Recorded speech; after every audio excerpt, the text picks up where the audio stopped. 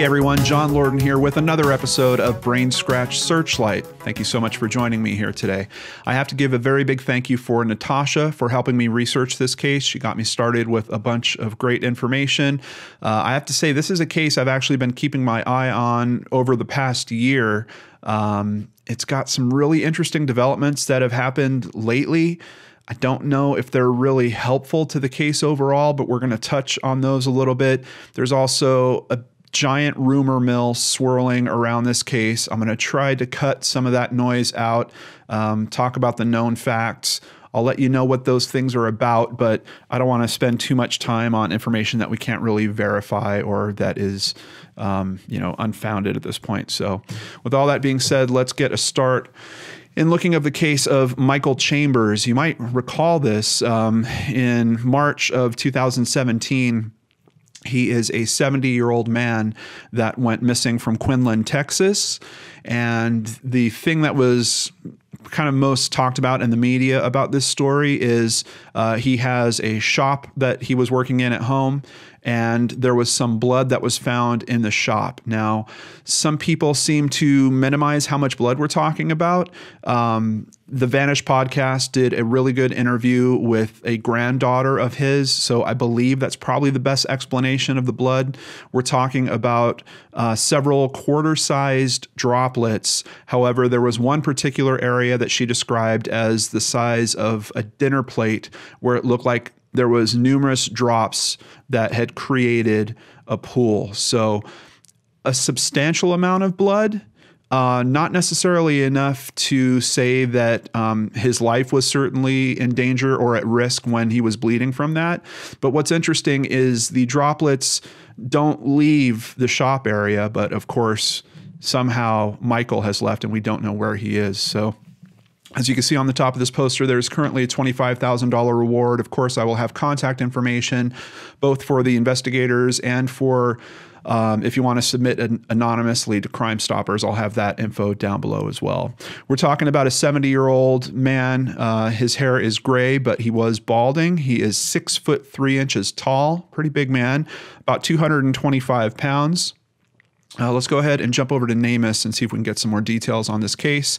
Michael Glenn Chambers, missing since March 10th, 2017. For the date last seen, for the time, they have it at around 11. Uh, he was basically caught on a Walmart surveillance camera. Um, his wife had asked him to go buy some things at Walmart. It seems like he did. He took those back into the house. Uh, they were found in the home. So, uh, but that's the last time he was seen. Uh, 70 years old, white male. Um, here they have the height kind of between six foot and six foot five, but all the other sources I've seen are saying six foot three and weight from 220 to 230 pounds. I did notice in some of the photos it looked like he had a little more weight on him, and I don't know which of those photos are more recent. So uh, it could be that he his weight uh, fluctuates a little bit there as well. Missing from Quinlan, Texas, in Hunt County. Mr. Chambers went to Walmart that morning, returned home to work in his shop. Spots of blood found there. Pretty simple description of the circumstances. Um, for head hair, they say partially bald, gray or white, uh, mustache and goatee blue eyes, wears metal frame glasses that seem to tint in the sunshine. Uh, for scars and marks, he has a small scar on his upper lip from a auto accident. He also has scars on his right knee and both shoulders. And for medical information, they have a very interesting point here. Keep this in mind as we talk about this case bad knees. And his granddaughter commented on this as well. I've seen actually a couple of references to the fact that he had bad knees. Prior surgery on his right knee and both shoulders. Uh, he worked as a firefighter. Um, I have some friends that are retired firefighters. I know that, um, you know, it's a very demanding and physical job. And uh, sometimes you have to deal with that as you get up in age. But for clothing and accessories, Michael Chambers had blue sweatpants and probably a blue Dallas Fire Department t shirt and a blue cap. Once again, they note the eyewear. Uh, and for accessories, he might or probably had a black watch on. For transportation methods, all his vehicles are found at home, and that's part of the mystery here. His keys are actually found locked up in his shop. Uh, his wallet is found in his shop. A little bit of a question of was some money taken from his wallet? And according to what we hear on the Vanished podcast, his driver's license is missing as well as his cell phone. Um, pretty curious. So, possibly some money, driver's license, and cell phone seem to be, I think those are the only items that um, we know have been removed. There's a little bit of a debate about a bicycle. We'll, we'll get to that here. Uh, for dental information, they don't have his charting available, which I'm really curious about. As a matter of fact, this NamUs profile is pretty weak. It's on the low to medium end. Uh, for DNA, they say there's a sample available, but it hasn't yet been submitted. I don't know what's happening around that. For fingerprint information, they say it's available elsewhere. Um, they have numerous Im- images. Some of the images we've already seen, but here's a shot of the watch that he was wearing couple more shots of his face that we didn't see on the poster there. So, uh, Quinlan in Texas is a rural city in the southern part of Hunt County. Um, it's within the Dallas Fort Worth metropolitan area. As of the 2010 census, it had a population of only 1,394 people. Very small area, but part of a larger area. From what I understand, Hunt County has over 80,000 residents total. Um, so, just to give you some background on the on the area that we're talking about here.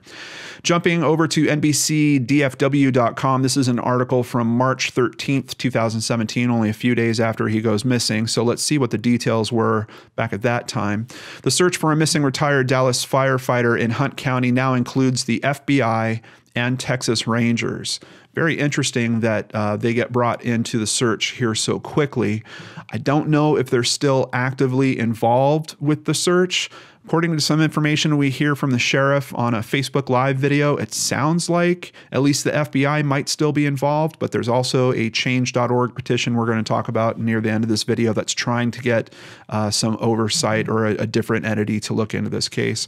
On Monday afternoon, the Hunt County Sheriff's Office revealed that a small amount of blood was found inside Chambers' shop next to his Quinlan house. However, there is no sign of a struggle in the shop or in the House. His family attended a press conference late Monday afternoon with Hunt County Sheriff Randy Meeks pleading for help. And here is a shot of Randy Meeks. Chamber spoke with his wife on the phone Friday morning. When she returned home that evening just before 7, he was gone. Um, I've seen some different time frames in terms of when she gets home. From what I understand, she texts him at I think like quarter to six. Other time frames I've heard are more like she got home at about 6:15. She got concerned uh, when she couldn't find him. Uh, called police around 6:45 or something like that. Uh, police didn't seem to show up immediately. She called a friend of hers, had her come over, called the police again. I think they actually didn't come to uh, talk to her about what was going on until about 7:45 according to a different time frame that I've seen on this. Uh, Meeks told reporters that there is surveillance video of Chambers at the Quinlan Walmart at about 11 on Friday. He says Chambers was alone and was not followed out of the parking lot. Uh, Meeks did not elaborate on what exactly Chambers purchased at the store. From information I've found, it seems like he bought some mascara for his wife uh, and some type of medication. I think it might be a cold medication, uh, but one that is specific for people that have blood pressure issues. Uh, according to some web sleuths information I saw, some of his family was commenting over there. It seems like he did have high blood pressure, but that it was treated with medication. Uh, however, if you go looking, you know, for like cold medicine or something like that, you want to be sure that you're not going to have a, a conflict happening with your blood pressure medication. So it makes sense that if he needed that for himself, he might look for a product like that. Detectives believe whatever happened to Chambers, it happened between noon and 3 p.m. on Friday. Quote, it's unclear at this time if Mr. Chambers somehow became injured and walked away from the location looking for help or if he was taken against his will, Meeks said. Now, I just want to try to clear one of these things up right off the bat. It's not unclear that he didn't just become injured and walk away looking for help. Because if that is the case, he either would have found help and would have been given help. Maybe someone would have called 911 or something, despite the fact he has a cell phone on him. And I don't know why he wouldn't have called for himself. But uh, if he was really badly injured and he went looking for help, he probably would have been found in his driveway, down the road, something along those lines. So I'm just I'm a little bothered. I'm really struggling w- in shooting this video because I'm frustrated, particularly with information coming from Randy Meeks. This is one of the first things when I started looking into this case that bothered me. We know that this first situation he's talking about, the likelihood of that happening is practically zero. Uh, so when you're giving me a statement like this and you're saying, hey, we don't know if he just got hurt and walked away or if he was taken against his will, well, now you've made it seem like if I can't consider your first option, we should really consider the second option. And I don't know that that is necessarily the right way to go about thinking about this case either. Um, there is certainly a third option, which is did Randy potentially leave of his own accord for some reason? Did he want to escape? Did he want to get away? Did he want to leave his life? We always have to consider that with these missing person cases. Very tough when you're talking about the fact he took maybe just the cash out of his wallet, took a driver's license that would kind of support that, took his cell phone. Uh, I have seen no reports of credit cards being taken. I've seen no reports of large sums of cash being moved out of his accounts or anything like that. So, just another consideration we have to kind of put out there. But we also have to remember there is blood in his shop. Now, another consideration for me with that is I don't know how old the blood is. Uh, I'm assuming that they would have recognized if it was from an injury that happened several days before, because it probably would have dried. It would have been brown in color. Um, so I would assume that it is blood from the day that he went missing if that is the case, then we have to consider what happened to him.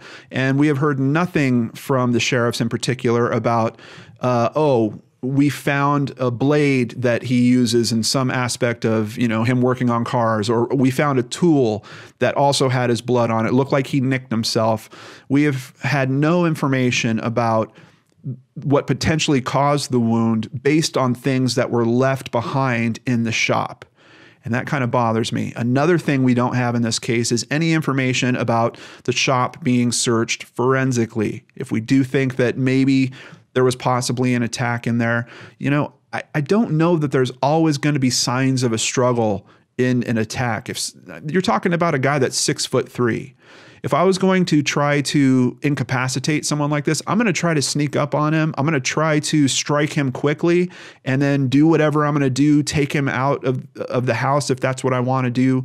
Um, and that's another interesting aspect of this case. Nothing seems to be missing from the home.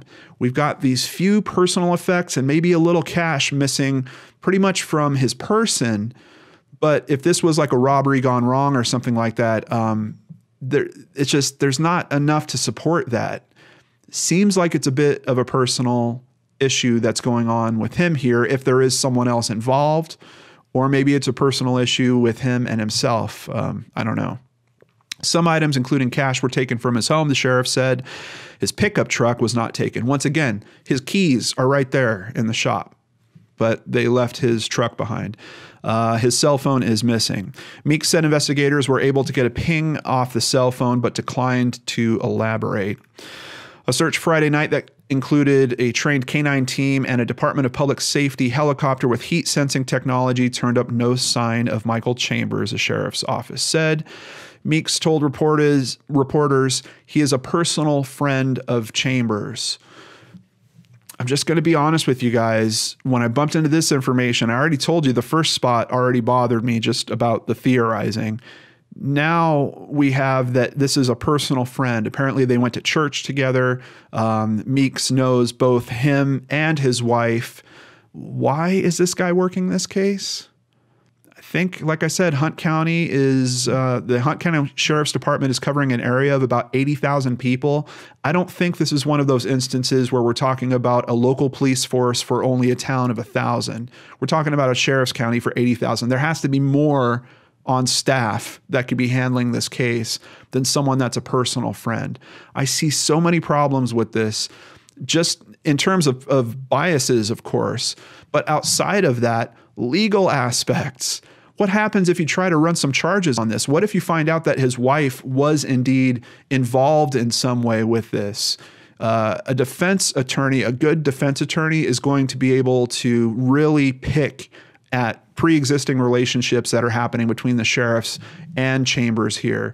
Uh, and that's even assuming that you have a good solid case where you've got a ton of physical evidence. I think it's problematic to me to have a personal friend investigate a disappearance like this because some of these disappearances do turn into cases with criminal charges. Um, so I'm just, once again, just kind of struggling with what's going on in this area around this case. But back to what Randy said about this. I've never known a more devout Christian man than Michael Chambers, said an emotional Meeks. I trust him with my life. He's a great family man. He loved his wife dearly. And I don't know if somehow he was protecting her. Uh, let's continue. Jumping over to CBSLocal.com. This is two months into the search. It's been exactly two months since retired Dallas firefighter Michael Chambers went missing, and investigators still have no leads or answers as to what happened to him or where he is. Uh, investigators say that they work on the case daily and have even brought in Texas EquuSearch, a search and recovery organization based out of Dickinson, uh, to look for the 70 year old man. Chambers' daughter, Susie Lasoya, told CBS 11 News, quote, someone has to have an answer. It's not possible in this day and age for someone to just disappear without a trace. Now, I have looked at some maps of the area, and you do have uh, neighbors. I mean, they're not out in the middle of nowhere, but there is considerable sections of land uh, around their home. So it's feasible to me that, like, if he wanted to leave of, of his own accord, maybe he could get out, uh, particularly that time of the day if there's a lot of people that work. Um, maybe he could get out without being seen. Um, but he has a cell phone on him. Obviously, there's ping information that police should be looking at. We're going to hear more about that as we roll forward, too. Uh, jumping over to WFAA, this is a picture. Um, this is a picture of his daughter it's been an agonizing 20 weeks without answers for Susie Lasoya. Quote, it's the last thing I think about at night. It's the first thing I think about in the morning. We need answers. Obviously, this case is more perplexing than the typical case. We also hear in this article that the family has hired a private investigator, someone we've talked about on the channel here before, Philip Klein Investigations now working on this case as well. Uh, you guys probably know I have a little bit of not history, but we've talked to each other via email. Uh, he's let me in on some information about a particular case that I was looking at before. I was kind of impressed by the information that he was able to get. I know I'm critical of his public persona, um, but interesting to see that he is attached to this case. We're actually going to read some of his comments about this case later on as well. His daughter continues, My greatest fear is that someone has killed my father and has literally gotten away with murder. That's my worst fear, she says. I'm convinced this was a crime. I do not think this is just a missing person. Uh, Chambers was a car aficionado and an avid fisherman. He had retired after 36 years as a firefighter. He was affectionately known as PaPaw to his family. Um, really, really tough to know. And we don't have great details on his family. There's not an, a lot that's publicly available on that. Seems to me that there's a bit of a disconnect between his wife and his children. I don't know if this is a second wife or a third wife, a, a, later marriage from when his kids were born, but there does seem to be some type of disconnect between uh, the kids and I believe it's his current wife, but I, I really can't find solid information on the makeup of this family. Uh, over at firehouse.com, missing Texas firefighter is subject of TV show, and this is just from February of 2018. The disappearance of retired Dallas firefighter Michael Chambers will be featured on the ID show Disappeared. And I actually did hear about that from our source on this. She says that the episode is scheduled to air in early June, so uh, keep an eye out for that as well. Back to NBCDFW.com. Uh, we get an update. This is from April 2nd. Very strange turn that happens here uh, in terms of police information being released to the media. A retired Dallas firefighter missing since March 10th, 2017, is believed to have committed suicide, according to Hunt County Sheriff Randy Meeks. Quote, I feel like he he jumped in there himself and committed suicide, Meeks told NBC5 news partner KRLD. It's Sheriff Meeks' belief that Michael Chambers jumped to his death from the two mile bridge on Lake Tawakoni. Uh, Meeks told KRLD, I think it's Tawakoni actually. Uh, Meeks told KRLD that investigators were able to trace his cell phone signal to the bridge, and divers may check underneath the bridge for a third time in hopes of finding his body. Quote, I feel that he was harmed, and I don't want to think it was at his own hand, said Susie Lasoya, one of Chambers' daughters. Um, pretty interesting to me here that we're getting kind of we're getting a theory. Here we go with another theory from the sheriffs on this, but they're saying it's based on information that has to do with the cell phone ping signal but we're not getting great detail about this information. Uh, and it would have to be better than a ping, sig- a ping signal. Ping signals can only get you within uh, several miles of where the tower is. The type of information that they're talking about as we go forward with and get more details with this pr- sounds more like GPS information to me, but. Um, as a matter of fact, I'm almost certain it's actually GPS information. Let's go ahead and jump forward so we can get some better detail here. Over at krld.radio.com. Sheriff Meeks says an expert was able to track Chambers' phone. Uh, his cell phone last pinged on the bridge. The same phone signal showed Chambers was traveling far too slow for a car and much faster than a walk. Meeks thinks the speed was consistent with a bicycle. Meeks add Chambers had been suffering from severe depression for about three weeks, but he declined to say why. Once again, here we go with some other aspect of a theory. How do you know if someone's suffering with depression for three weeks? Uh, are you that close of a friends with this guy? I mean, are you seeing him more than once a week where you can actually kind of chart that? Or did did he specifically say to Randy Meeks at some point, "Hey, boy, the last three weeks have really been getting at me"? And even if you even if all that's true, why are you releasing this kind of small amount of information to the media without backing it with anything? I mean, if you really think that this is the case at this point, uh, share that information with us. It's not going to blow any potential criminal investigation or trial that's coming up. You're saying that there isn't one.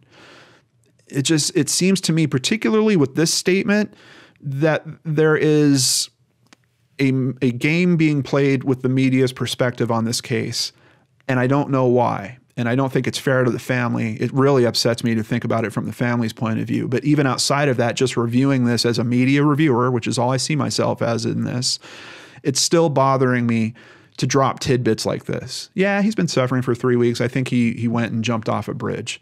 Well, let's take a look at that bridge. Here it is. Now, I don't know if it's actually two miles long, but you can see it's a substantially long bridge. But let's get closer to the water here. Um, yeah, in case you can't tell, you can kind of tell better out at the horizon, but from where the water line is to the actual bridge is no more than nine feet. Is that really a place where you're going to go to end your life? I don't think a nine foot drop into the water is uh, honestly is is going to to end your life. So, what is the point of this bridge? Why would this be a location to do something like that? I don't know. And then we have this interesting comment about the speed. Can we get some more details on that? Over at WFAA.com, um, there's there's a bit of cleanup that it seems like has to happen around this comment. So it's like literally on one day the sheriff is giving out this new theory, and then the next day he's kind of apologizing that he shouldn't have talked about this theory. But let's see if we can get more detail here. Uh, the Hunt County Sheriff's Office spent much of Tuesday working to clarify the search for a missing Dallas firefighter remains active. One day after the sheriff went public with the theory that Michael Chambers took his own life. Sergeant Jeff Haynes on Tuesday said it was only one of several theories and that the department has not abandoned the search for Chambers. This is not a done deal, Haynes said. Haynes did confirm that investigators tracked Chambers' cell phone from his home northeast of Quinlan to the bridge over Lake Tawakoni, Tawakoni, sorry, um, at a speed just over two miles per hour. Now, here, this next statement. That's too slow for a car and a little too fast for a walk, Haynes said. I'm just going to stop you right there. Let's jump over to Wikipedia here and uh, let's talk about walking. And let me let me just also put out there. I, I think when it comes to walking, I have a lot of experience because uh, I have done half marathons, full marathons. Uh, I have helped people of all kinds of different ages, uh, all kinds of different body shapes to um, be able to do that goal. I've literally done it with them side by side. And I can tell you the average walking speed, before I looked this up for me, uh, that I've been able to keep everyone at very consistently is three miles per hour. So that two miles per hour thing makes absolutely no sense. But here, at Wikipedia, although walking speeds can vary greatly depending on many factors, the average human walking speed at crosswalks is about 3.1 miles per hour. And then they have a specific note down here 2.95 miles per hour for older individuals. Both of those things well outside of the spec of what we're talking about that two miles per hour is definitely too slow for a car, but a little too fast for a walk? Absolutely not. And this is actually Jeff Haynes saying this here, um, but I do believe that Meeks has also stated that same information because he apologizes for it later anyway. Susie Lasoya told WFAA on Tuesday the family is aware of several theories detectives are considering, but received no advance warning that the sheriff would make just one of those theories public this week. Quote, it was a gut punch, Lasoya said.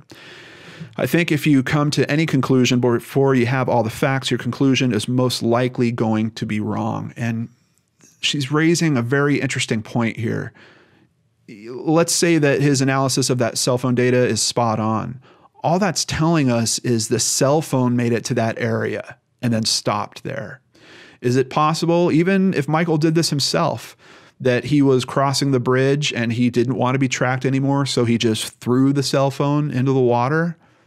I think it's possible. Is it possible that someone else had the cell phone and threw it into the water? I think that's also possible.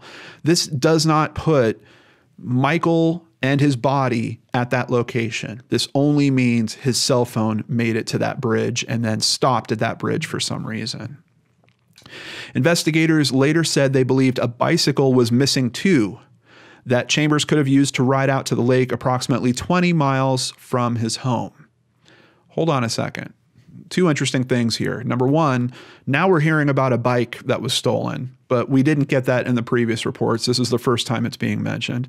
Number two, 20 miles from his home? Yes, approximately. According to this map that I pulled, it looks like it's it's more like over 17. And I guess it depends how far across the bridge he goes. Also note, he's basically riding right around the Walmart Supercenter, the same place he was at earlier that day. For some reason, why would you take a bike ride out there? I, I don't know when you were already out there earlier in the day. Um, but outside of all this, do you guys remember the information we reviewed at NamUs?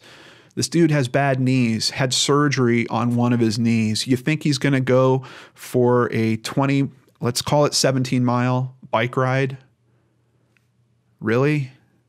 It, it's just this theory is not holding up to any scrutiny of the slightest sense. And of course, we get the biggest thing here quote, I never knew him to ride a bike, Lasoya said about her father, and definitely not riding that kind of distance. I don't know, guys. So then there is another interesting turn. And like I said, I don't want to go into too much of the rumor mill stuff, but Hunt County Theft Reports is a local Facebook group. Um, I think they started because they wanted to raise awareness to reports of theft in the area, but now they're kind of bleeding over into reporting on other types of crimes in the area as well. You can see their icon is a neighborhood crime watch.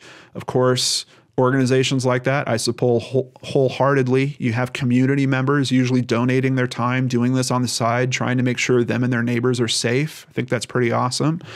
But here we're getting a message about their post of the Michael Chambers update has been deleted. unknown how or when, pretty crazy to me. We're not going to repost. If and when we find a reason, I will update. And then there's an update. Someone was logged in from Dallas on our page. Whoever you are, good luck. Password has been changed. Chambers post was reposted. Make sure you all share the heck out of it. Um, what's going on with that post? Well, I can only get a good sense of it from this interview, and this is a Facebook Live interview with Randy Meeks talking about the case. Um, and if I already didn't have enough reason to not feel great about this guy, this video certainly does not help it. Like I mentioned, we're talking about a grassroots community organization that's looking to help their their community be a bit safer. And this guy, uh, about five minutes into this video, just starts attacking the the person that's asking him questions about other people's comments on this group. It's mind-boggling. He is completely focused on it. Uh, he keeps focusing on the fact that he wants to tell the person that runs this Facebook group, you're not really supporting law enforcement. If you supported law enforcement, you wouldn't leave comments like that up there. And the guy's talking about, hey, look, we're getting a thousand comments in one day. How are we supposed to monitor all that and uh, you know take take all that down? And quite honestly, I would have hit it more from the angle of does law enforcement support like you know First Amendment at all, so what? People are criticizing you about what's going on with this case. Come on, it's it's the social media age. Use some of that. Maybe you know the thing that I always say, the comments that really get me. I know that there's something in them that I need to understand better. There's some truth in them that is actually nailing me. Those are the comments that really get me. And you can tell he specifically reads several comments. One of them seems to allude to the fact that he might have a closer relationship with Michael's wife than uh, has been publicly disclosed, let's just say. And that's part of the rumor mill problem around this case as well. Um, I've seen information saying that Michael's wife has several boyfriends. Randy Meeks is certainly one of them. Uh, I don't put a lot of stock into any type of reports like that. Um, it's just it's not enough. It's even if those situations are going on that doesn't necessarily mean that what randy meeks showed up and asked michael hey give me your driver's license and then did something to him. It just it's not enough. The, the connectivity there doesn't work. Trying to solve a case by looking at motivations for people that are all around the case i know that that is something that web sleuths in particular do a lot of um, it's not the strongest way. We have to look at the information that's actually available. We have to look for the physical evidence that can tie this together. I think our time is much better spent doing that because if you're looking into the spider web of people's relationships, um, there's usually a lot to go to find, and you're going to find a lot of connectivity that can push you back to those same assumptions and biases that you have. So, I, I, caution all of us as uh, citizen investigators, let's just say, when we're looking into things like this. But I can tell you this about 25 minute video does not help the perception of Randy Meeks. Uh, he lashes out at uh, Philip Klein uh, in this in several ways uh, which actually surprises me because one thing I do know about Philip Klein, I it's actually kind of a criticism of him in one way. I feel like sometimes Philip gets too close to the investigators. Uh, he over compliments the investigations in many cases. Uh, he always talks about his coordination, and I've heard from law enforcement officials that say yes. We've worked with Philip, and yes, he shares everything with us. Uh, here, you have Randy basically saying, no, that's not true, and do a Google search on Philip Klein, which I have done a Google search on Philip Klein. This guy's bad news. He has no law enforcement experience, blah, blah, blah, blah, blah, blah. All right. So, Klein, uh, Klein Investigations released a statement on Michael Chambers' case in response to the sheriff's live interview. In his statement, Sheriff Meeks referred to certain issues he has with our firm. His comments were uneducated, as he has never discussed any issues with us. The lead investigator on the team has only met with Sheriff Meeks on one occasion, and the sheriff made no indication of any concerns with our investigation. I know, guys, this feels a little bit like the rumor mill, but there's, I'm, I'm telling you, there's some information in this that we want to get out there as well. Uh, we now question why the sheriff is attempting to run a discrediting campaign as well as steering the case away from a possible criminal act. Now, that is a very good point that really resonated me with me when I was watching this video and watching this guy waste an opportunity to share compelling information about the case that can actually elicit tips and instead go off on this side road adventure of trying to prove to this guy that's interviewing him that you really don't care about law enforcement because you let other people talk bad about us. It's it was so off base, it was so off focus. It really makes me question Mr. Meeks and his ability to actually zone in and focus on the task at hand. This interview does not help his public perception, but what's clear to me is he is very concerned about his public perception because he spends so much time trying to attack those negative commenters uh, and Philip Klein's work, of course. The case status. We would like the public to know that we have come to no conclusions whatsoever regarding this case. They're still interviewing witnesses, still going over evidence, but they do want to go on the record with the following statements. We see no evidence of suicide at this time. We're still investigating. We find no missing bike and believe that Mr. Chambers did not have a bike, never rode a bike, could not have rode a bike over 10 miles to a bridge that is nine feet above water, tossed the bike in the lake, then jumped to his death. The height is less than 10 feet, which would not kill him from the fall. I completely agree. Uh, and outside of that, one comment that's interesting that comes up in the Facebook Live is they actually ask for a description of this bike. And Randy Meeks says, Well, I'll have to get that information and get it back to you. I have not seen that information come out. If any of you see that information, please put it in the comments down below. I've also seen no comments from family that they know what this bike is. So if you happen to find any information like that, please share it with us in the comments down below as well. Uh, uh, one other thing I should clarify in this video, Randy Meeks does address the speed issue, and he changes it, saying no, it's not. It's not two two and a half miles per hour. It's actually four and a half miles per hour. Well, I am not a bicycle expert. I did look into it several ways. I couldn't find a very strong method for trying to determine what average bike speed is.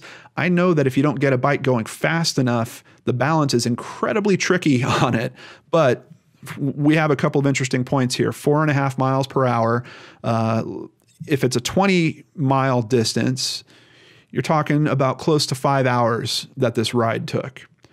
And if he disappeared some point between noon and three o'clock, then you don't have that phone winding up off the bridge until at the latest 8 p.m. Uh, it's just it's a significant amount of time, and the information that I could find about average speeds on bicycles, it's more like 10 miles per hour. Some people even say 12.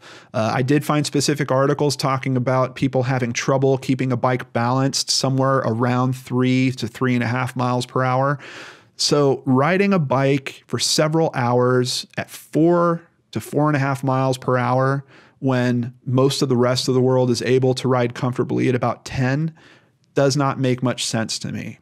What makes more sense to me is possibly you have someone that is jogging.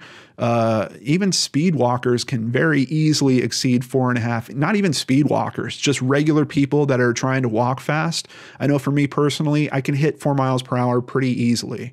Um, so four and a half miles per hour, I'm not convinced that that means that there's a bicycle, but just know that's the new information on this bicycle theory, though we don't know about much about the bike. We find the blood found in the workshop indicates foul play and a possible homicide. Rebecca Chambers has refused to interview with our team. That's Michael's wife. We have attempted six times. All other family members have agreed to interview, and most have been completed. All friends of the couple have interviewed with the team, with the exception of three. Of the three, one is offered to, to be interviewed with counsel present. We respect that. Uh, as has been publicly discussed, there are and were multiple boyfriends of Miss Chambers, one of which she was reportedly seeing at the time of the disappearance. Two have agreed to be interviewed, and one has already been interviewed. So, some considerations there. Um, definitely looks like Klein Investigations is looking in the direction of uh, Rebecca Chambers as well. We're not going to go into it too much on this video. This video is already running really long, but there are some interesting steps that happened after he disappeared. She shut off his cell phone, I think within about 10 days of him disappearing. She also shut off uh, his son's cell phone, a son that, according to other reports from his family, he was very close with. I don't know if there's something to all that. Uh, she sold a Mustang of his. I've seen on Web Sleuths that uh, she was given a gift of a Mustang from him, a 66 Mustang. Uh, but on Web Sleuths, there are people that are saying that they're family members that are saying that's not the same one that she sold. Uh, everyone in the family knew that she was having some type of financial issue. So uh, her selling those things kind of makes sense. And some of the family was saying we were hoping that she would do that rather than file for a death certificate. But it seems like she has actually done both um, which I think the family is kind of thrown off by a bit too. Like I said, I don't know if this is, I don't think this is the mother of the children. It seems to me that this is a later relationship. So certainly some strangeness going on around that. Um, but it's really tough, really tough to know. Uh, when Meeks was asked specifically if um, they had given her a lie detector, he wouldn't answer it. So pretty interesting to me that um, he's willing to whip around theories without giving much details, but when asked a very direct and important question that I've you know, in many cases, people have talked about lie detector results, particularly if they help the if if they help the person that gave the test in some way. For example, if, yeah, we did ask her and she said she had nothing to do with it and she passed, that information usually comes loose and, and pretty easily from police departments. But in this specific case, he would not give an answer. Um, there is one other kind of strange aspect to this case I wanted to touch on, and I learned about this over at the change.org petition. Um, they're very clear here. This petition is not affiliated with the Chambers family, but it is posted with their knowledge. Uh, the information it contains has a compilation of public records, family and friends' firsthand knowledge, and other sources that have been vetted and verified. So they've wrote out kind of the whole story here um, bullet for bullet. So I really recommend that you come and check this out as well. This is a petition where they're looking to ask the Texas Rangers to take over this investigation, uh, which I kind of think would be a good idea, or at least get this thing assigned to someone else that is not a personal friend of this couple if there is some potential for foul play. We know that blood was found in that room. I think that's enough potential for foul play. It doesn't mean that that's necessarily the case. It just means that if there is going to be, you know, some type of criminal trial at some point, why are you risking that trial by having uh, someone work on this that has personal connections? I, I have no idea. Another strange twist, and I really haven't seen this happen in a case before. It's why I want to share it with you guys. In the days previous to July 14th, 2017, a local resident, Bradley Marion Dunn, made claims on social media that he had information on where Mr. Chambers was located at. Chambers' family members spoke with Mr. Dunn during this time. He was encouraged to contact the Hunt County Sheriff's Office. On the day of July 14th, Bradley Dunn met with deputies from the Hunt County Sheriff's Office at a location near the intersection of Farm to Market Road 2101 and Rancho Road in Quinlan. Mr. Dunn, a career criminal, was said to be jittery and under the influence of some type of mind altering substance. Mr. Dunn was arrested on scene by Hunt County Sheriff's Office for having a handgun on his person. He was booked into the Hunt County Detention Center. He was also charged with a motion to revoke probation. Mr. Dunn is now currently in the custody of the Hunt County Detention Center awaiting disposition of his charges. Now, I've never quite heard of someone going to help law enforcement and law enforcement flipping around and charging them. Uh, and especially with what we're talking about here, I'm pretty sure in Texas you can actually carry firearms. I think it might have been specifically because he was on probation that he's not allowed to have firearms. So that might have been something that he did that that was his fault. But what's also interesting here is we have this aspect that uh, he was supposedly jittery and under the influence of some mind altering substance. Well, where's the charge for that? Why are we not hearing about that charge? Does was he tested? Did they give him a test and determine that he actually wasn't on anything, uh, or that he was, but they weren't going to charge him with that, but they were going to charge him for having a handgun to get his probation revoked? There's just aspects of this that aren't really adding up for me. Uh, I went looking for information on this. I can't find any information on on his case currently. So if you guys are able to dig up some of that, also please share it in the comments down below with us. Once again, have to give a shout out to the Vanished podcast. Uh, Marissa did an excellent job on this case as usual. It was their 100th episode back when it aired uh, about a year ago now. Web Sleuths has currently six threads going on this case, a lot of good discussion going on there. And on top of supporting the change.org petition, if you are moved to do that, there is also a GoFundMe, Bring PaPaw Home. Uh, and this is basically to raise funds to hire the private investigation team. As you can see, they are just over halfway on their goal raised in five months. Uh, once again, on behalf of myself and my awesome supporters out there on Patreon and PayPal, thank you guys so much for helping me do things like this. We are going to make a donation to this as well and hope that it helps with this investigation. Uh, hope that some answers come to this family and hope that Michael comes home. That's that's really what this is all about. Uh, tough one, guys. Uh, I, I, knew it was going to run long, but um, I didn't realize that it was going to knock me around emotionally like this. Um, I struggle with it because basically because of kind of the same conversation they were having on that Facebook Live. I support law enforcement, but I don't support what's happening in this particular case. This random theorizing and not backing it up with solid information. The thing that drives me nuts is if you do have this ping information that you say you have that basically traces him from Walmart to his home to the bridge, that means you have specific times that you're not releasing publicly that you're talking about. That means you know when his phone left the shop. Why isn't that time frame released? Why aren't you asking locals back on that day, do you guys remember specifically at 1:30 did you notice anyone coming out of that shop? Did you notice anyone driving down this street from 1:30 to 2:30, 2:30 to 3 all the way getting to that bridge which uh, you know, look at the hours we're talking about here. And on a Friday afternoon going into evening, uh, even for a small town, you're going to have traffic out there. Did someone notice someone on a bike, particularly on the bridge? Wouldn't that kind of stick in your head a little bit? You got that little narrow bridge. I just, I don't know. But the information is not being disseminated correctly to help the public know what to look for in terms of getting those tips back to police. And that really frustrates me. But they're winging around these theories hurting the family on on on the on the side of that as well. Uh, and I don't really find that respectful. Um, of course, you have to think about did he possibly harm himself in this case? Doesn't mean that you have to go talking about it publicly to media sources and giving them just a little sprinkle of information. Well, this is why I think that. We have this ping information. Well, then how about we use that ping information to help us with other theories in this as well? That's really where I'm most frustrated with this case.